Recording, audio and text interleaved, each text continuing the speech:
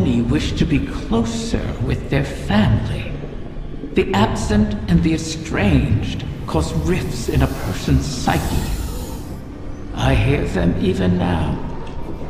Let me speak to my father again, one last time.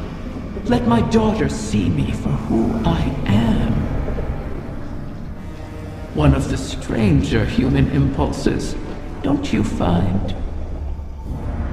Above all, Ahamkara want to feed, to drink deep of the gulf between desire and reality. Other Ahamkara are competitors for limited resources, not allies. The only exception is a mate. Sometimes we reach beyond ourselves.